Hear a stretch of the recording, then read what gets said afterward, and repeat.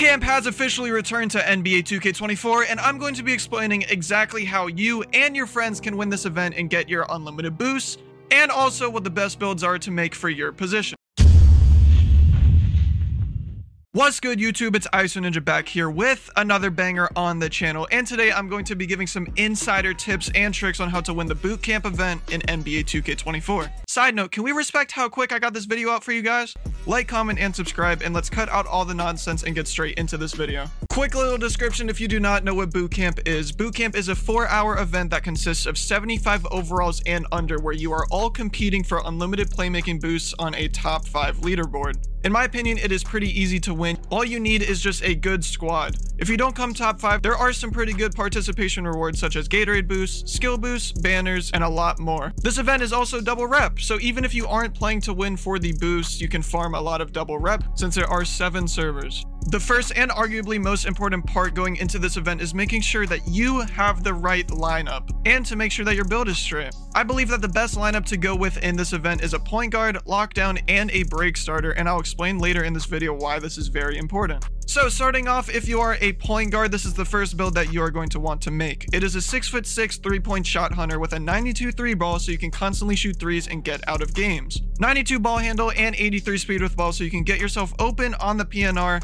and the physicals you got at 86 speed, 73 excel, and 99 stamina. This build is basically just a lower overall version of any 6'6 stripe string shot creator build that you see on NBA 2K24. Trust me, I crafted a lot of different 75 overall builds and this is the best one that you can make. For all the lock lockdowns, you want to make this small forward, 6'7", 233 pound, 7'4 wingspan lock. For your defense, put your perimeter defense and steal to a 99, upgrade your perimeter to 94 and steal to 91.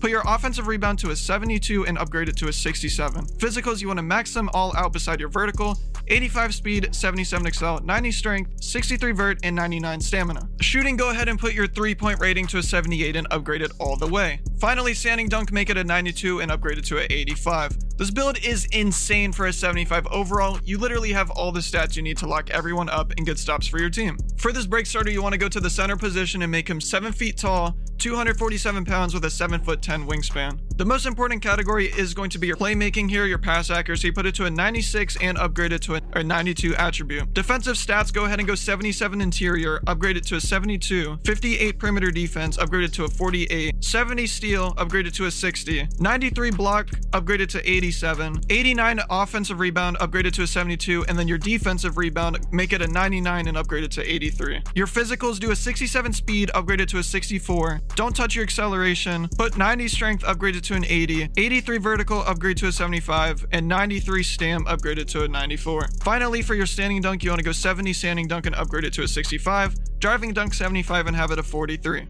This is going to be the best center build that you want to use going into this event. Now, here are the insider tips and tricks on how to exactly win this event. This is a performance-based event, so you want to fill out your stat sheet. This is going to be scoring, getting assists, blocks, good defense attempts, etc. And all of that good stuff. I'm going to start out with the break starters, the center position, if you made that build that I mentioned earlier.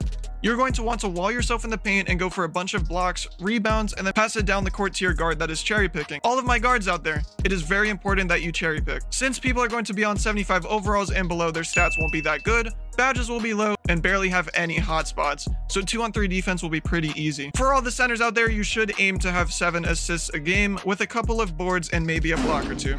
You'll be up there on the leaderboards in no time if you complete this. Next up, for all of my guards out there, if you want to win this event, you're going to have to pass the pill and shoot your threes. Have a lockdown flare up out of the corner or back door for some easy assists. Maybe even your center can quick slip for the standing dunk. The threes are going to be easy, just get open on the PNR. With the 6-6 build and T-Mac base, it should be very easy for you to get threes and end the games quick. The main objective is to end all the games as quick as possible to get higher on the leaderboards. If you guys do want to watch me play this event live with my team, I will be live on twitch.tv forward slash isoninja underscore for the majority of the servers so you can see how the number one top rep myself plays this event. I wish you guys the best of luck when going into the boot camp event.